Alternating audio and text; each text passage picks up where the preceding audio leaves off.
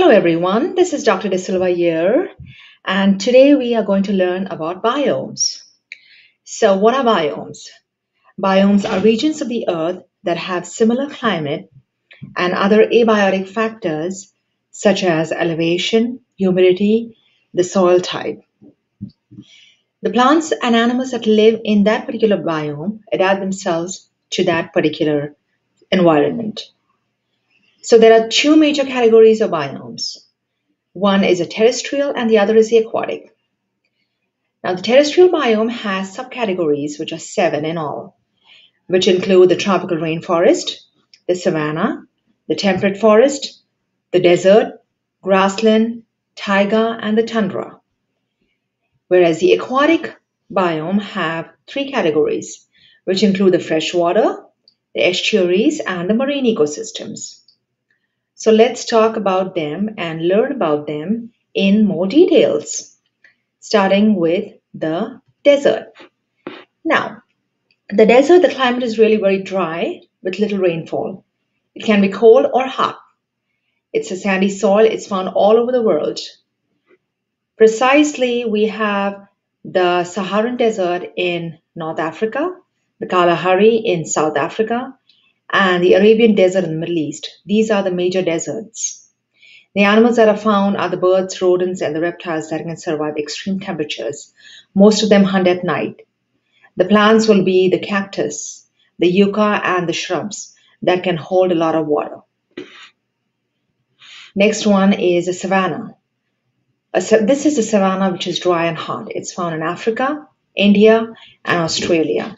So we have Africa, India, and Australia. The animals that are found are the lions, the elephants, zebras, antelopes, and the hyenas. They are open grasslands with very few trees, like the acacias. So savanna was the dry and cold.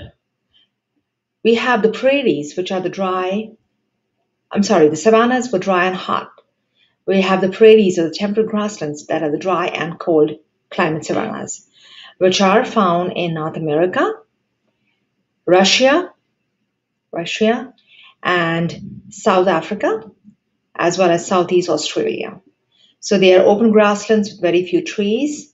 We usually have the bison, the elk, the hawks, the coyotes that are uh, usually in the American prairies. So it's which, which are usually in the America in America uh, we have these animals. Next one is the tundra.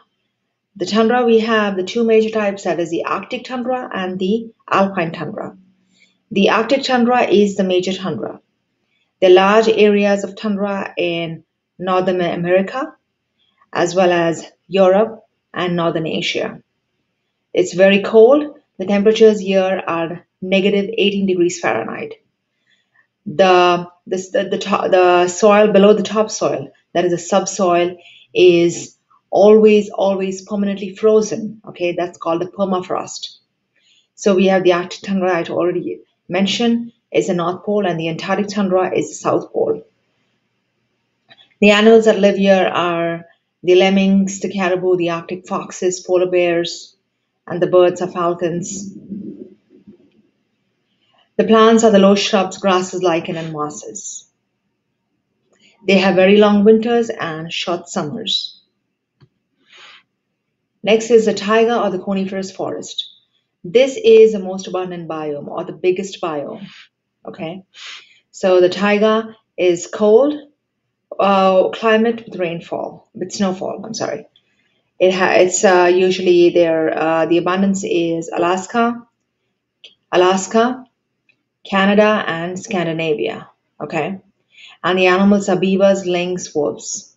And the forests are uh, with cold, tolerant, dense evergreen trees like the pine, fir, and the spruce. So that's about the taiga, the coniferous forest. Next is the temperate or the deciduous forests. The temperate forests are the biomes with moderate rainfall and humidity, and it's a little less than rainforest.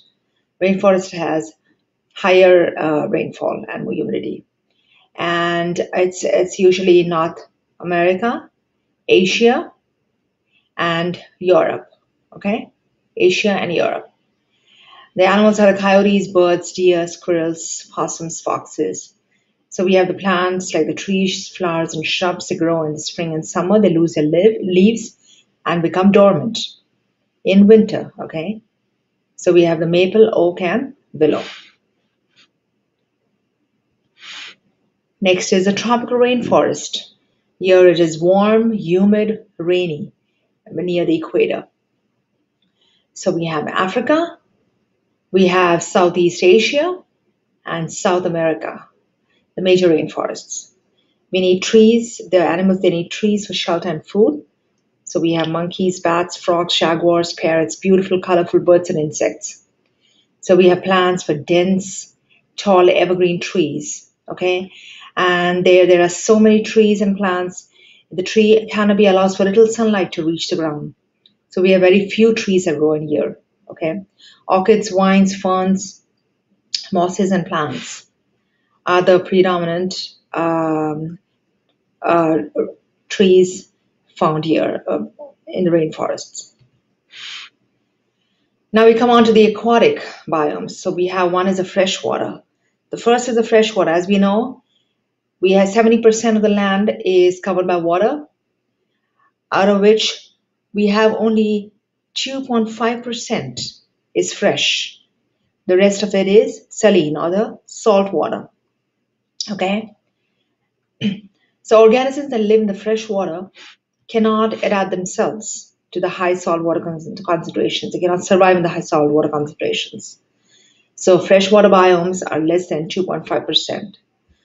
So the water moves in a single direction for the rivers, okay, rivers and streams, and but stands in a lake or a pond. We have a large variety of uh, animals like the alligators, amphibian snakes. We have the plants like the algae, mosses, rivers, cattails, and the cypress trees. Next are the estuaries. What are the estuaries? Where the freshwater streams and the rivers meet the ocean are the estuaries. Okay?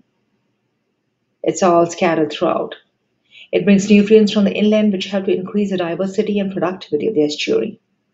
So we have the animals like the beluga whale, crabs, seas, turtles, oysters, and the plants like the algae, grasses, sea oats, and dixie flowers that are found in the estuaries. So the last but not the least are the marine ecosystems, which are the saltwater ecosystems. So the regions that cover about three-fourths of the earth. And the marine algae, they supply 90% of the world's oxygen and take in as much carbon dioxide. Evaporation of seaweed provides rainwater for the land. So here the waves they come in and go while submerging exposing the beach. Okay, while submerging and exposing the beach, and this creates a great diversity of species around the reefs. Okay, around the reefs. The deep ocean is very cold, it has cold water, and it creates its own world of sea creatures or strange creatures. So we have the animals like the sharks, octopus, whales, dolphins. Very few plants can establish themselves here in this intertidal zone of cold and hot. Uh, algae, phytoplankton, seaweed around the coral reefs, with no plants in the deep ocean due to the lack of sunlight. So this is all about the biomes about the terrestrial and the aquatic biomes. If you want, you can stop the presentation at any point and take notes.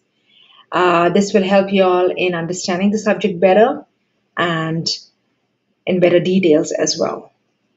Okay, thank you and have a nice day.